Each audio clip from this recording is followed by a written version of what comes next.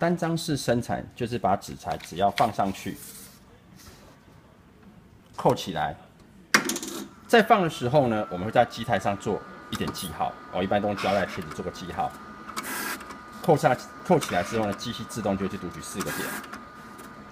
当然前提是第一次已经都从电脑把资料送给切割机了，等于切割机之后已经记录好所有的资料了，然后它就会把刚刚所做的动作再做一遍。所以这个可以很容易的由呃小朋友呃或者一些家里的长辈，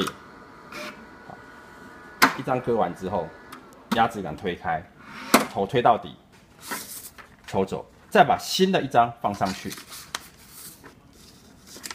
只要塞在两个胶带中间就可以了。扣起压支杆，它机器自动就会去找寻脚的位置。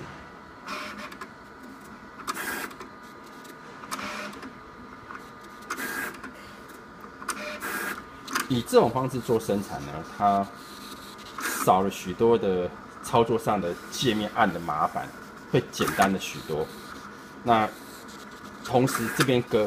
上一张割好了，也可以做排废，就是撕边的动作。所以这种做法呢，一个人其实基本上顾到很多台机器都没有问题。